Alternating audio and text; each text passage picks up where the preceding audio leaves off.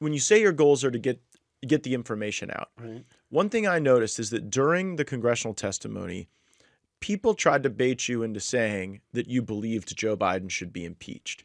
Do you think Chairman Comer has proven that Joe Biden has committed a high crime and misdemeanor?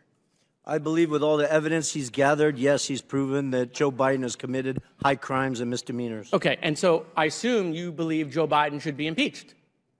Well, that's up to you guys. Uh, you said, look, that's not for me. That's for the Congress to decide. I'm laying the facts out. But when this is all over, Tony, what what what do you want to have happen? Like, do you think the Bidens belong in jail? Do you believe Joe Biden should be impeached? Do you believe that this should just flavor our understanding of the broader corruption problems we have? Should it lead to legislation? I've had I've had you know Republicans and Democrats even say, you know, watching all this stuff, if it's not a crime, maybe it should be. Right. And and do you want to see like a Bobulinski bill come out of this? What you know, when this is all over, what makes it worth it to you that you've put your name on the line, you've put your credibility on the line, and and really, you know, now you go from being a finance guy and a deal guy to being seen as the guy bringing down the Bidens. Well, there's a lot in that question, so hopefully I have a little bit of time to unpack it. So uh, I look forward to sort of riding off into the sunset and going back to my private life uh, and enjoying my family, willing to fight for this country, you know, however I'm asked to. Um, but I look forward to that, and people such as yourself um, who are, you know, driving change and, and making waves in Congress. Uh, there's a couple different pieces of this. I've always been shocked I think we discussed this in the hearing in the spring of 2017 when I started to take meetings and and get up to speed on this and had lawyers setting up the business. I was shocked would be an understatement that the Bidens were e- even able to be anywhere near these discussions.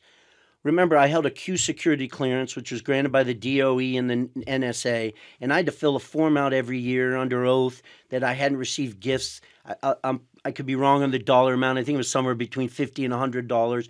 No immediate member of my family had received gifts or was interacting, sort of like FBI agents have to do every year. And so, with that purview, seeing what these guys were doing in the spring of 2017, I asked my lawyers, I was like, this doesn't make sense. I like, uh, you know, I have a great reputation. I've spent time all over the world. I work for one of the most private but wealthiest families in the world. I can't be, I have zero interest in stepping out of the box. And so they looked into it from my vantage point and under FCPA and dotted I's and crossed T's. That doesn't mean they looked at it from the Biden's vantage point, what they were able to do as a political family and their relationships and all that stuff.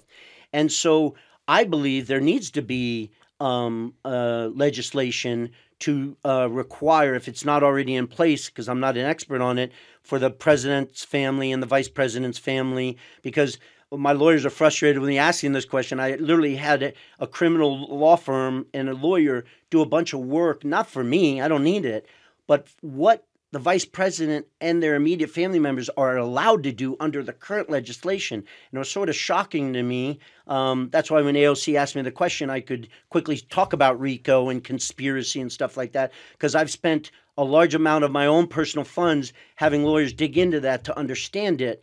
Um, because currently, I, uh, my understanding is the vice president and the president live under sort of a slightly different umbrella than if you're an FBI agent or a naval officer Or a member of Congress. or a member of Congress. And I don't understand how I, as a lieutenant with a Q security clearance, had to disclose every year if I even had a lunch with a foreign national. Yet the vice president and the president of the United States um, possibly can have their immediate family members, their son, their brothers, uh, flying all over the world, meeting with, you know, um, effectively. Um, foreign nationals with close, close. so that would be a goal of yours. So Yeah. I mean, you, you've so laid legislation. out. Yeah. The Biden family um, is going to also ride off into the sunset. I can't tell you exactly when, but the threat of China to the United States of America is more real and has been real for decades.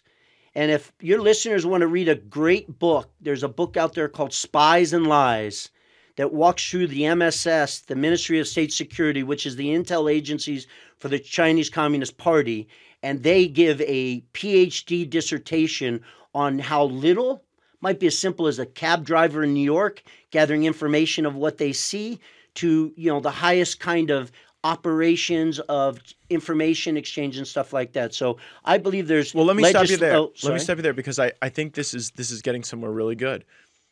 If if because of your testimony and what you've illuminated, uh, we end up with stronger anti-corruption laws. Let's just make that a basket. And Katie Porter laid out some great ideas. I thought she think, did a great job you on know, that, in the hearing.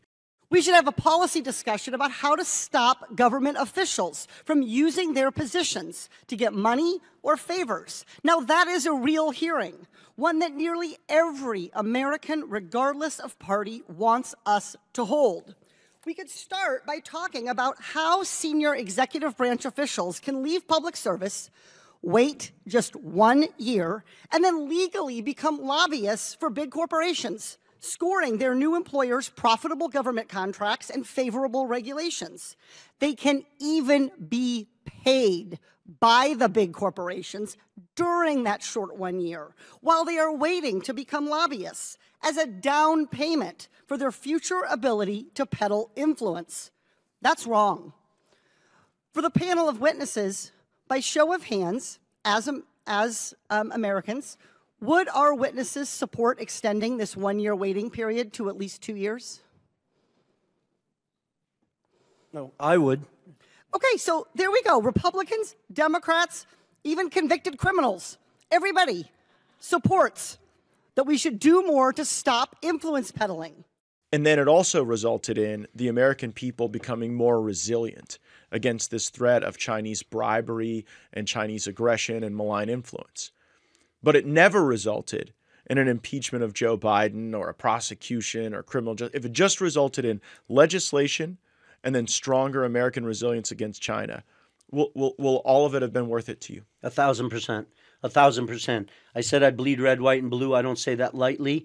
We have to protect our country, our people, our intellectual property, all these people in this country working 50, 60 hour weeks to produce things that are being stolen by the Chinese Communist Party. We need to protect them and wake up to how they are infiltrating our country. And notice, they are using capital to do it obviously one of the largest economies in the world, back and forth with the United States. They deploy, people are like, oh, the Biden's millions of dollars.